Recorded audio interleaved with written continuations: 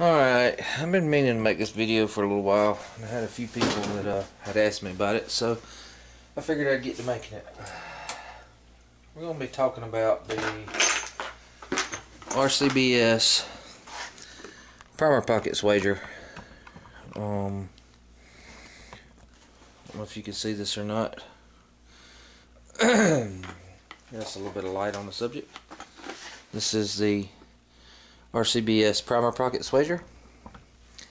Before I had this, um, I actually used the little Lee Chamfer deburr tool, and I would just take it, put it in there, and just give it a couple of turns and turn out the uh, um, little primer pocket crimp. And that works great, you know, no problem. If you, that's all you got. I've used it for several thousand rounds. The only problem is, is when you're actually taking that out, you're making that hole a little bit bigger.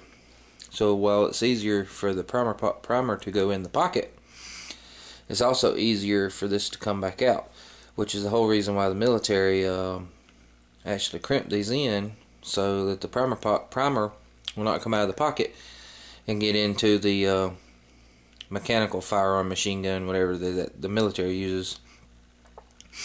Now, most of your commercial um, brass does not have the uh, primer pocket that is crimped, where this Lake City brass does. Sorry for the lighting out here. it's terrible. But it is what it is. That's where you need to be seeing anyways. Alright, so I'll give you a little rundown. I actually have had two primers back out on me inside the firearm when I was shooting. And actually the primer came out of the primer pocket, went down into the action of the gun and ended up uh, getting down inside my trigger, causing it to be uh, a single shot. The, the trigger wouldn't even reset. You'd have to actually pull the charging handle back every time to actually reset the trigger. And both times I took it out, I actually found a little primer down inside there. So, hence the swage tool. Pretty easy to pretty easy to use. Um, not gonna go through all the back this up where you can see. Not gonna go through all the specifics. It comes with your instructions which are great. Uh, and you have your die. It comes with the. I actually have the the small um, post rod, whatever you want to call it, in here, set up for doing two two three. Um, you use the same one for like nine millimeter. Anything small primer brass, pistol brass, or rifle brass, and you just have to use your instructions set it up. I'm not going to tell you how to do that because this one's already set up. If you look, and you can see how the uh, rod actually sticks out a little bit. I I have a uh, a quick change bushing on here so I can take it in and out. But you can see how that sticks out. Some people was asking me was it supposed to stick out on this end or was it supposed to stick out further on the top? Basically that's how I have mine set up. With the bushing it sticks out about yay much. And you can see where the die is inside there. I guess about a sixteenth of an inch further it would stick out if you wasn't using a die. But also you have your die. Like I said you have the large rod if you want to do, you know, 308, or if you had some uh, pistol large large primer pistol brass that you needed to take out, and it actually comes with these little inserts that I just dropped in the floor. But that's okay. They're rugged. You have the one for the large which got a little bit bigger little uh, um, cylinder that sticks off of it, and then you have the small. For this one will be the one you'd use for like 223 um, 9 millimeter. And also you get a case stripper. And I'll show you how I set this up because first time I did it, I did it backwards. Try and get you get that in there the best I can. Hold on, let me move the camera a little bit closer. Alright. In see if I can't get in here around the camera. Still have you have be able to see the press. Alright, so basically what you want to do is you want to raise this up. You want to take your shell holder out. I was doing 223. And also, you want to take your uh, primer insert out because if not, when this is going up, it'll actually bottom out on your um, case stripper and then you'll be wondering why your uh, wondering why your uh, cases won't come off because it won't let it go down far enough. So basically, you just pop in your shell holder, put your case stripper over it. You can see how that works.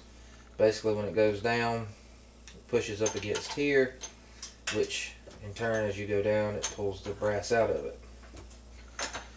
Take your die. Like I said, I have this one set up on a quick change die system. So I love my breech lock. Now we got some 223 brass. Um, basically all you do is take it, take the head of the uh, brass and stick it up onto the rod. I always hold it up like so and bring my ram down, bring the handle down, which pulls the press up. And basically, when you have it set up, just before I bottom out on the press, it'll be almost all the way up in there. And then I just push it in. You see, that ain't coming out just by normal finger pressure. Hence the case stripper. And once you get a little feel for it, it's not really all that bad. Located up on the rod, raise your uh, ram almost all the way up to where it'll hold it, and then you just pop them off.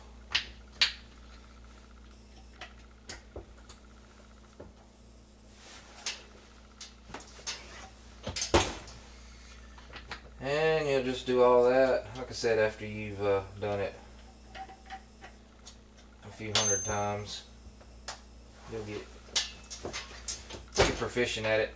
One thing you don't want to do is try and load it on here and go up. Because you see, it's already contacting, it's already contacting the uh, die. And if you was to go from here, you'd actually destroy your piece of brass. So always make sure that you load it up on there. Go at least more than halfway. Make sure you're on there. And just pop her off. Just like so.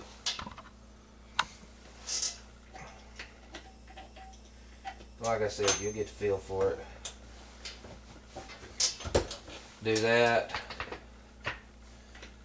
Getting some more ladder loads done. For some uh, 62 grain cast AR shells. I'll show you those if you're interested. This is what I'm actually doing the brass for.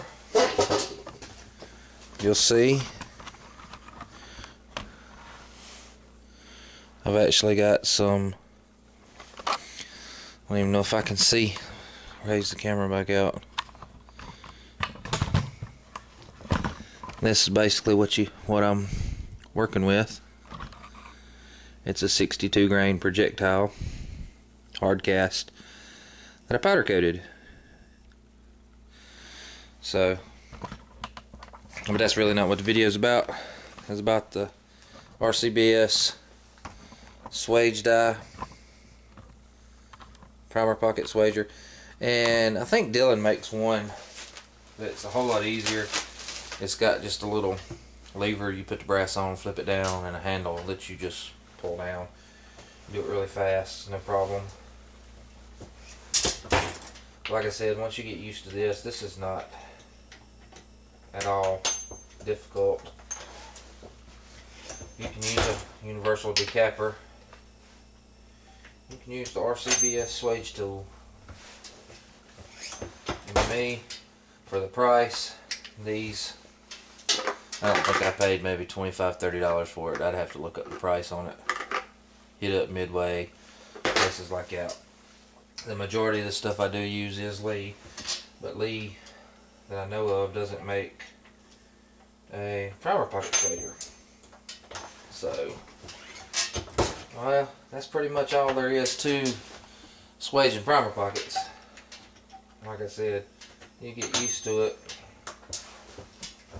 You can go through and do a pretty good bit. That was a Lake City. You can really feel the difference in some of these. Like in your commercial, most of the time your commercial brass doesn't need it. Well, that must have been a piece of commercial. Yep, Remington Peters. That's Lake City. Let's see.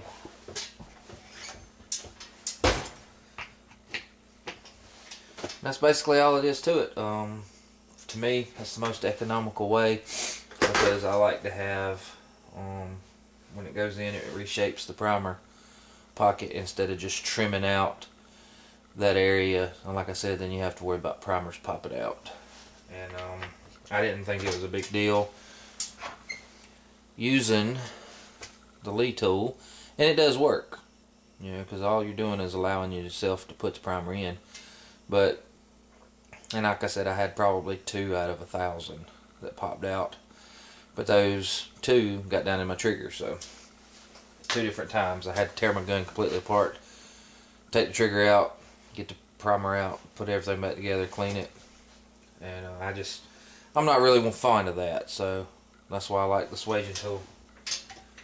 I do this and it gives me just extra little peace of mind. Because most of the time I'm making ammo like this, it's for plinking. I'm not really dependent on my life for it. One day I might, but I really don't want to have to worry about my ammo. So, there you go. Uh, I know Dub Dub, you was asking about it. And uh, he was asking about how much resistance and everything. It's pretty simple. Takes just about that much force. Not a whole lot. You're not going to be pulling your press off the table with that. But alright, like I said, if you need to remove some uh, military crimp, that's my, my vote, the primer pocket tool for my RCBS. And this is actually the primer pocket swager 2. I don't know what the one's like, never used it. Alright, I'm out of here.